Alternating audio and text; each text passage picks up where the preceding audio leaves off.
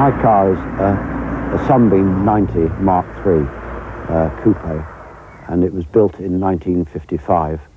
And uh, the seat I'm sitting on is the passenger seat, which could be taken out for picnic purposes.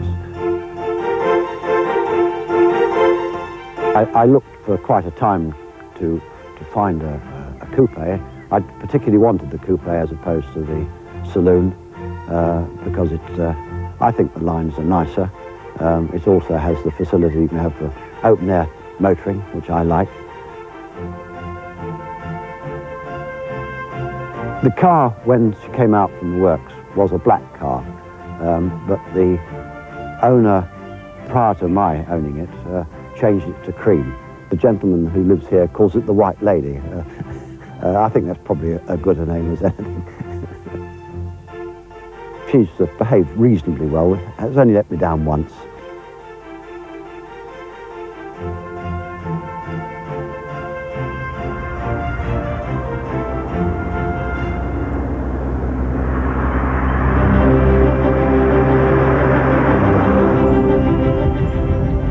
The, the steering is very heavy. The engine only produces 80 bhp for a, just over a two and a quarter litre engine, and the car weighs 2,700 weights. So it doesn't accelerate as well as a modern car. I believe the original figures were 60 miles an hour in 18 seconds. I mean, you very nearly walk to that speed, but uh, once it's rolling, uh, it will go pretty fast. The instructions uh, with the car, because of the uh, slow engine speed, is that uh, you consider first gear as an emergency gear only, and to start in second gear. And this is an instruction in the owner's handbook. At that time, there was a guy called Norman Garrad who'd recently been demobbed from the army. He'd worked for the Rootes Group before the war as well, and he'd been very much into motorsport and competition um, he had the idea that if they could improve the Sunbeam breed, the Sunbeam Talbot breed, by motorsport, rallying in particular, then they would open up a whole new market for the Sunbeam Talbot motorcar. He had a very difficult job because the designers and the marketing people regarded competition as something of a waste of good motorcars that could be sold for money. What he also tried to do was to acquire drivers with, with well-known names. And um, he enlisted the aid of one young man at the time who was becoming quite well known in motor racing, a chap called Stirling Moss. And um, Stirling drove a Sunbeam Talbot 90 in the 1952 Alpine Rally. This is to be an Alpine conquest, and the surviving invaders press home their attack.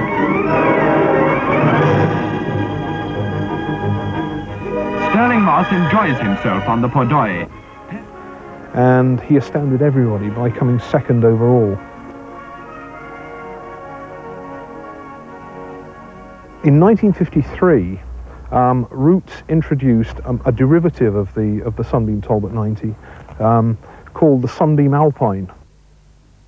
A team of six of these cars were entered for the 1953 and 54 Alpine rallies, again with teams of very well-known drivers, of which Stirling Moss was one. All set, Moss? Ah, yes, I see you are. Then, let's go.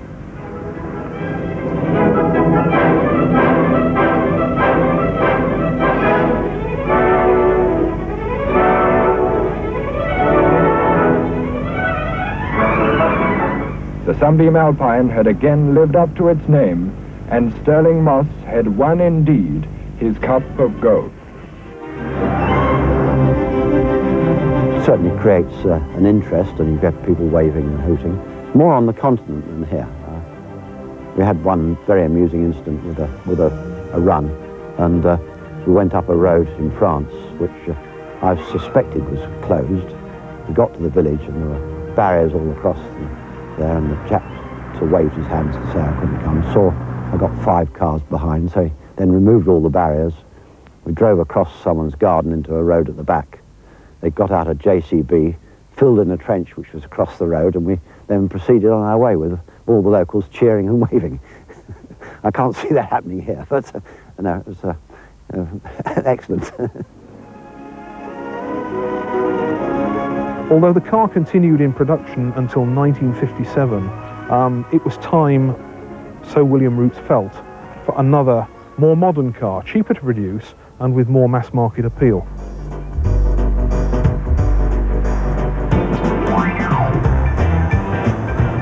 Rootes launched the Sunbeam Rapier in 1955. The Rapier we have is a Series 3A. That was launched in April 61. It's different from its predecessor in having the larger 1600cc engine. I suppose I've always been hooked on classics and 60s cars. I think what attracted us to the Rapier was the styling, most of all, certainly my wife, who very much fell in love with this Swanley.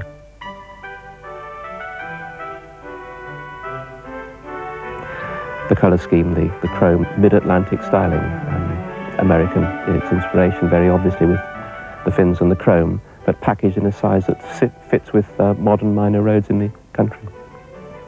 The first Rapiers didn't have the fins at the back, which is the thing the car is probably most known for uh, these days. Uh, they put those on with the Series 2 in 1958, copying an update from the Studebaker styling that had inspired the car to begin with. They use lots of duotone body schemes, um, with very 1950s colours like yellow and very light grey. Lots of pastel colours like very light blue and very light grey as well.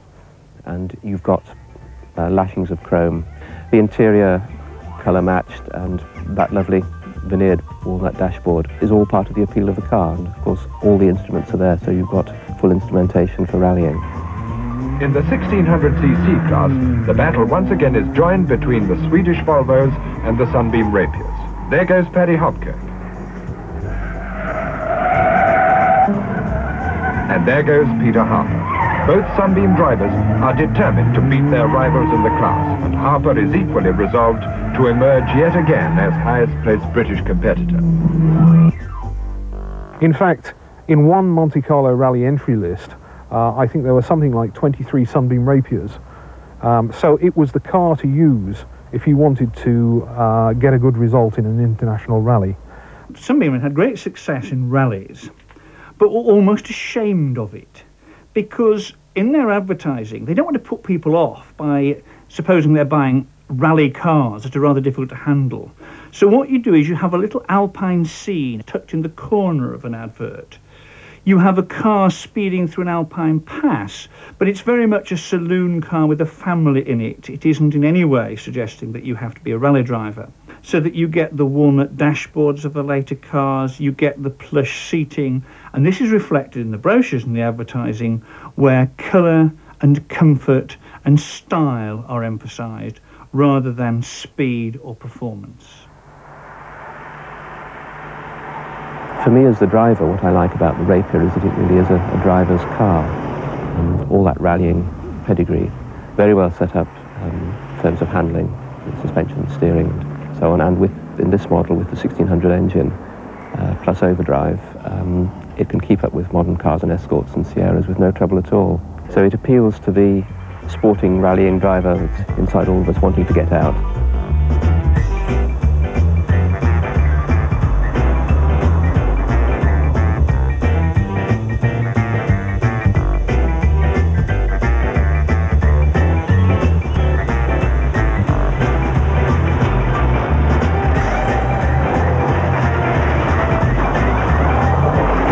Think we've seen over the last 10 years the classic car movement has grown and there are many more people interested now.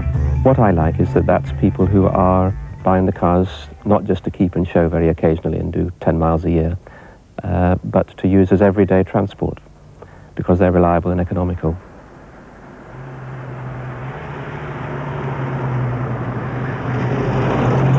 Very much part of the family and not for sale. We've done so much with it and had so much fun with it. The children are growing up with it. We could not part with it. In 1959, William Rootes again decided that they needed a car for the American market. For some reason, they hadn't tried to market the Rapier um, effectively in the United States, so he decided he needed a sports car.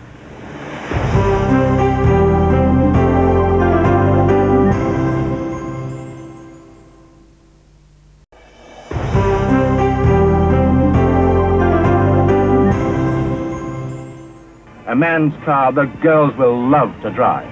We believe that no other manufacturer offers so many brilliant features in a precision-built car designed for performance and economy at so moderate a price. In 1959, the Rootes Group introduced a completely new Sunbeam sports car with the old Sunbeam Alpine name. It was a very pretty car, very much uh, a 19, late 1950s, 1960s sports car, um, in direct competition to such cars as the MGA and the Triumph TRs.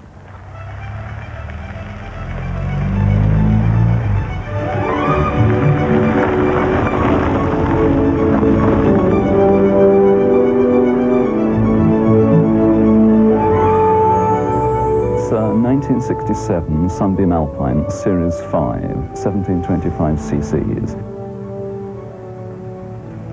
The Sunbeam Alpine Sport started in 1959 and there were five series, one, two, three, four, five, and the engine steadily increased from 1494 to 1725 cc's. This was the last of the, of the engine sizes.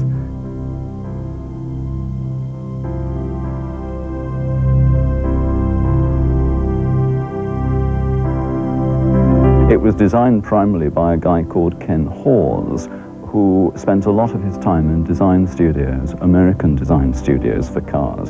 And I think he got lots of American ideas. He was with Studebakers for a while. And he saw the need for a sort of a fairly straightforward British sports car for the American market, and indeed a, a, large proportion of them were sold in America over the years. It was quite an expensive car for its day. It was of the order of a thousand pounds or so in the mid-1960s, which was quite a lot of money. It was above the sort of the ordinary run-of-the-mill type car. Sort of people like me couldn't afford to buy them when we were young enough to enjoy them, I'm afraid. One day I just happened to hear from a, um, a, colleague of mine that he was selling a car. He had started restoring it um, and he'd stripped it right down and he had lost the garage that he was doing the work in and he therefore had to sell it because he didn't have anywhere to put it.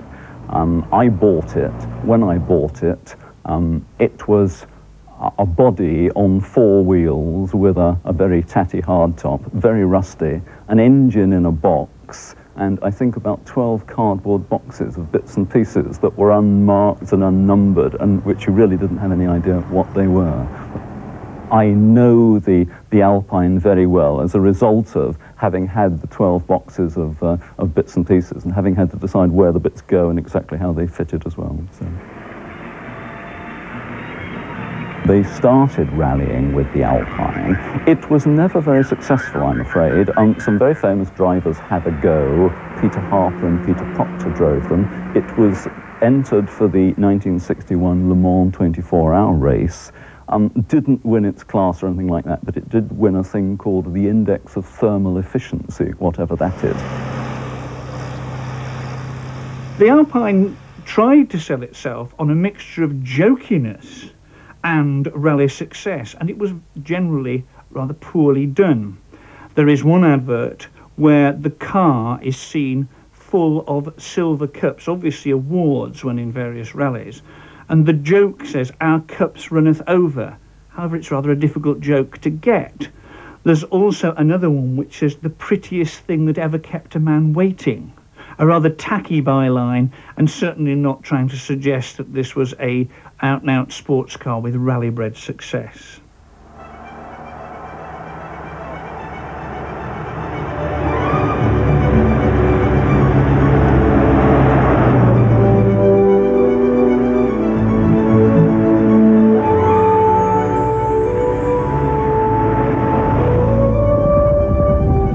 I think it's a supercar to drive. Um, I find it easy. I like the gearbox. I like the clutch. It's got um, servo-assisted disc brakes on the front. It corners well. It holds the road well. I mean, not that I belt it around sort of like on racetracks, but it does hold the road very well. And it's a comfortable car. It's easy to get in. I am now becoming fairly elderly, and I find I can sit in it comfortably and very well. It's got wind-up windows, which is quite an achievement for cars of that age.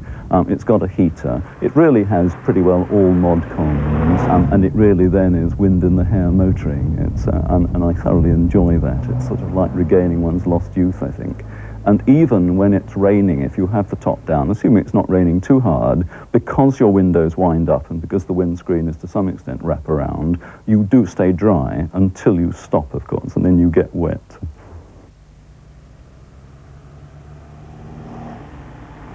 I think it attracts quite a lot of interest nowadays, being nearly 30 years old. Um, and particularly, I have taken it abroad on a number of occasions, and you really do get a crowd of people around if you park it in a square in France or anywhere like that. They want to know what it is, and they call it the Sunbeam. The Sunbeam Tiger was an idea conceived by Ian Garrad, who was the Rootes Group Supremo on the west coast of the United States he decided that it would be a good idea to, to build a Sunbeam Alpine with a, a very big engine. And the engine they decided to use was the 427 cubic inch Ford V8 engine, which was quite small, quite compact, and fitted nicely into the Sunbeam Alpine engine bay. I've had the car for, well, it's 25 years. Um, I bought it in 1971 for the magnificent sum of £465. Uh, I couldn't afford the car really, so I put a deposit down, I think it was £200, and the rest was then spread over monthly payments.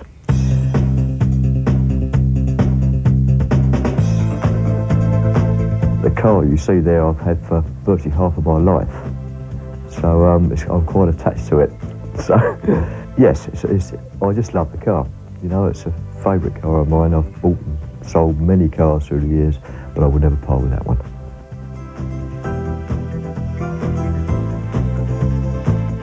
I've also owned other Rootes motor cars. My works van is a 1962 Hillman Husky, which is used every day of the week. It stands out in all weathers, but it always starts on the button the next morning.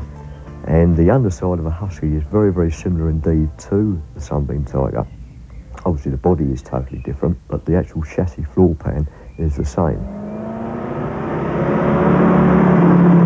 The Sunbeam Tiger was launched in late 1964, £1,470.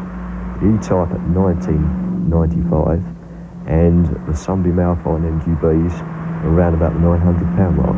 It meant that the, the Sunbeam Tiger was quite expensive for what it was and that's possibly why they didn't sell as many as Rootes hoped to sell.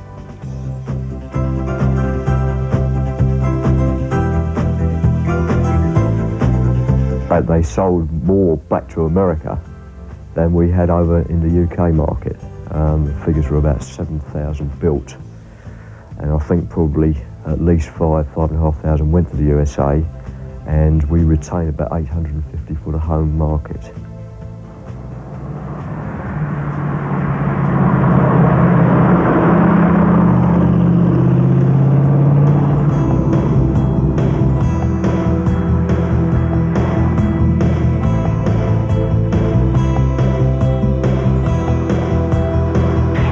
Very exciting, very exciting car to drive. It's quite predictable as long as it's not abused. The braking system isn't bad if driven sensibly, but the, the actual power the engine develops, even in standard form, is phenomenal, I think.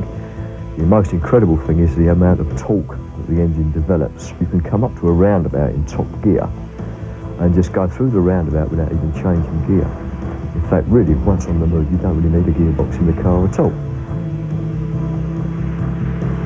I don't use the car in the winter very much, but come the spring, when you get it out of the garage and clean the thing up, and the first time you drive it, it all comes back to you like it was yesterday. And I still get a thrill out of the car now when I first drive it. It's a lovely, brutal name for a motor car. It's really brilliant, I think. It's a great name. I've owned many of those Sunbeam Tigers, but that one I've got a, a particular affection for. Yes, it's on par with the wife.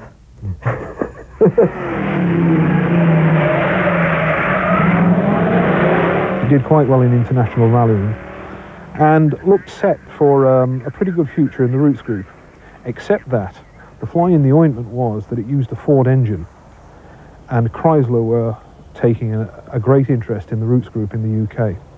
Chrysler didn't like this car with a Ford engine being marketed by the Rootes group. They looked at the possibility of putting a Chrysler engine into the Tiger, but it couldn't be made to fit. So in 1967, the Tiger died very quietly. You like something with a bit of character. I can see that. How long would I have to wait for one of these? Well now, for very special customers, I could arrange almost immediate delivery. As it happened, Chrysler hadn't got long to go in the UK before they pulled out completely. The Chrysler UK Motor Company was, was renamed Talbot UK and it was taken over by Peugeot. The Sunbeam name, although the rights are owned by Peugeot, will never reappear on a British motor car. I'm a Sunbeam man through and through. I'm not quite sure why. Um, I just love the cars. I love all Sunbeams, even the Alpines and the Rapiers. Now the Sunbeam marque has gone, uh, along with all the other Hillman, Humber and Singer marques which the Rootes Group had until they were taken over in the 70s. You don't have the same recognition, I think, and loyalty by people who buy cars in this country today to marques which have a good British history to them. That's what we've lost. The tragedy at Heysel Stadium was more than a story of hooliganism and riot. There were major implications for the future of stadium design, but have the lessons been learned? A disaster premiere investigates next.